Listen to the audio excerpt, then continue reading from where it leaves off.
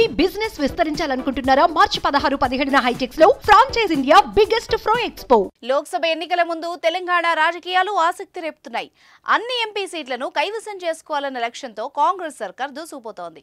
ఎన్నికల్లో ఇచ్చిన హామీలను వరుసగా నెరవేరుస్తోంది. ఇప్పటికే పలు కీలక హామీలు నెరవేర్చగా త్వరలో మిగతా పథకాల అమలుపై దృష్టి పెట్టింది. ఈ క్రమంలోనే నేడు రేవంత్ అధ్యక్షతన మంత్రివర్గం భేటీ కానుంది. ఈ సమావేశంలో ఎలాంటి నిర్ణయాలు ఉండబోతున్నాయన్నది ఉత్కంఠ రేపుతోంది.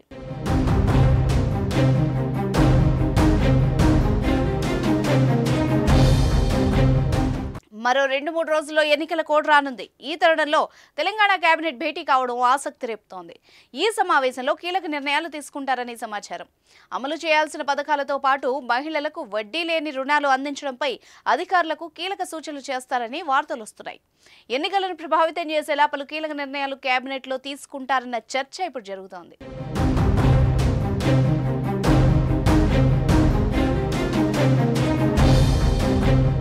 ప్రధానంగా మహిళలకు నెలకు రెండు వేల ఐదు వందల రూపాయల ఆర్థిక సహాయం హామీ ప్రకటనపై కీలక నిర్ణయం వెలువడే అవకాశం ఉంది. వంద రోజుల్లో ఆరు గ్యారంటీలు అమలు చేస్తామని సీఎం రేవంత్ రెడ్డి శపథం చేశారు. అయితే ఈ నెల పదిహేడుతో కాంగ్రెస్ చెప్పిన ఆరు గ్యారంటీల అమలుకు వంద రోజులు పూర్తవుతుంది. ఇప్పటికే ఐదు గ్యారంటీలను అమలు చేసిన కాంగ్రెస్ మహిళలకు నెలకు రెండు వేల ఐదు వందల రూపాయల ఆర్థిక సహాయం హామీపై ఇంకా కసరత్తు కొనసాగుతూనే ఉంది. ఈ హామీపై ఇవాల్టి కేబినెట్ భేటీలో ప్రకటన వస్తుందని సమాచారం. పథకం అమలుకు కావాల్సిన నిధులు అర్హుల ఎంపిక విధానం మార్గదర్శకాలపై అధికారులకు కీలక సూచనలు చేయనున్నట్టు తెలుస్తోంది.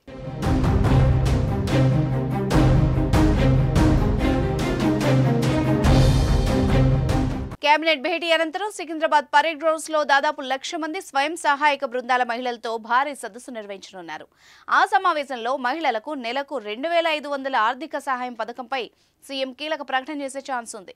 అదేవిధంగా ఇందిరా క్రాంతి పథకం ద్వారా మహిళలకు వడ్డీ లేని రుణాలు అందించే పథకాన్ని నేడు ప్రారంభించనున్నారు.